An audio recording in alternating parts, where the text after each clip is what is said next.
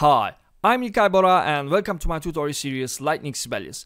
This is a quick tip video about how to install plugins inside Sibelius automatically. Before we start, please subscribe to my channel and click on the thumbs up button below. If you like my tutorials and if you want to support my channel, you can donate it via PayPal from the link in the description.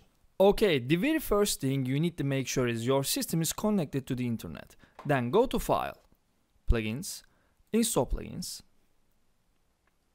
and from the Show tab, click on All Plugins, and here you can download any plugins you want by clicking on the Install button. You can also use search bar by writing the name of the plugin. For example, I want to download Decrease and Increase Dynamics plugin and I write its name, I click on the find button and I choose it from the list and I click on the install button. That's all you need to do. Meanwhile, I would definitely suggest you to take a look to a super time saver and workflow booster chapter which is called My Plugins plugin.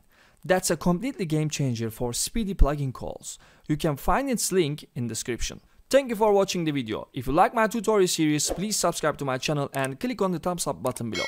If you want to support my channel, you can donate it via PayPal link from the link in the description. See you soon in another Lightning Sibelius chapter.